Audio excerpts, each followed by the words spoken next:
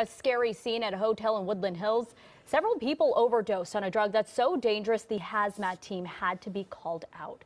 Four people were rushed to the hospital after ingesting fentanyl powder. Mm -hmm. It's a strong painkiller. That's right. Even a small amount can be deadly. KCAL 9's Rachel Kim is live in front of the hotel in Woodland Hills with the very latest. Rach? Yeah, guys, a manager here at the Extended Stay Hotel tells us that the hotel has been deemed safe and everything is back to normal at this point. But earlier this morning, there was a massive response after what authorities call an example of the ongoing opioid epidemic.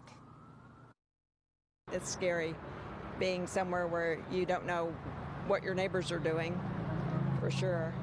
Guests at this Woodland Hills hotel found out what some of their neighbors were doing when firefighters arrived this morning.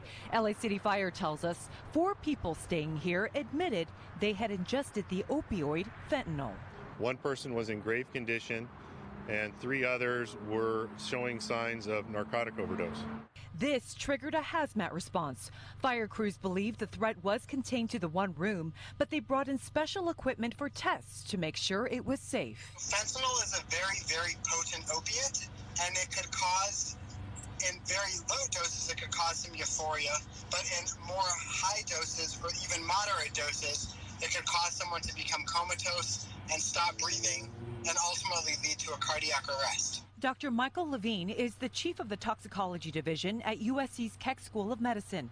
We spoke with him via FaceTime about why more people are using fentanyl. Fentanyl has become relatively cheap um, and people are using that to get high. And people are also using fentanyl as a cutting agent to cut other drugs, meaning where they will dilute the quantity of the other drug by substituting fentanyl. Back in October, Orange County authorities had their biggest fentanyl bust ever 20 pounds of the synthetic opioid, which they said was enough to kill the entire county's 3.2 million residents three times over. Fentanyl is so deadly, just this tiny amount pictured next to a penny can kill, even if you don't ingest it.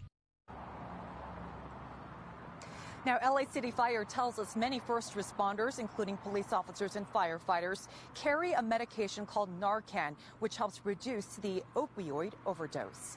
Reporting live in Woodland Hills, Rachel Kim, KCAL 9 News.